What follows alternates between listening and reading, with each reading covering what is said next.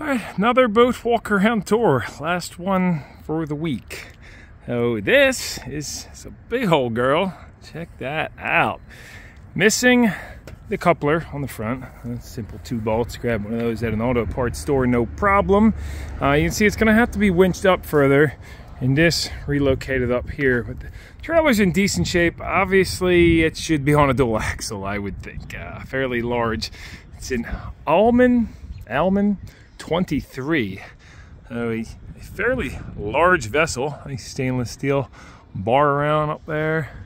And check it out, these windows actually open up, it looks like too, on the bottom. Get some nice airflow coming through. So uh, let's just uh, get you down here on the, the keel. I mean, it's looking, uh, looking tight and nice. This, uh, of course, is going to be labor of love as we go and check it out more. Trailer tires look decent. Not seeing any drive rot on those Futura scramblers. Probably not even trailer tire tires, honestly. Okay, here's a glance at the inside. We'll hop up here in a second. And, uh, scrolling over to this side. Up and over. Oh, uh, no drive on it or anything. Uh, I'm gonna have to talk to him and see if he has anything. I, don't. I don't know if he does. So that I'll update down or in the description of the listing. Uh, it's, you this tire is decent too. Yeah, this trailer's way undersized. I mean, you could probably get it home locally on there, but what's it sticking off the back? Five feet or something? Oh, let's hop in here. Oh, nice fiberglass floors. Not feeling any softness so far. Let's see what we got for an engine. Sorry about the poor footage if it doesn't come out great. Oh yeah, like old V8 in there with a Holley carburetor. Looks like probably uh, Chevy. I don't know. Distributors in the back. It's got a Mallory YL520-CV Dizzy. And yeah, looking, you know, looking pretty good. I'm sure it's a runner. Don't know if it's locked. Don't know anything about it. I know it did run at one point, and then it's been sitting. I'll get that on better in a second. Uh, let's take a look.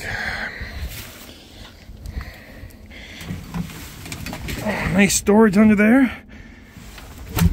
Oh, let's pinch that. Oh, well, it's just like a cover. Nice and sturdy, no flex there. Floor, know, this thing feels good. Nice seat. Good he kept it covered. This seat, pretty good shape too.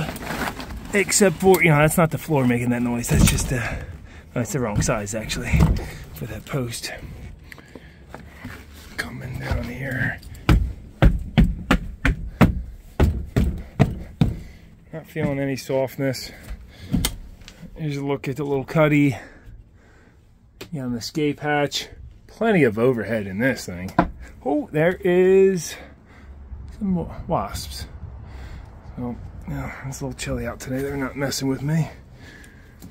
Uh, I'm not gonna kill them on camera because some people don't like that. In fact, I'm just letting them be anyway. What are you talking about? Look at the gauges. The shifter. Steering.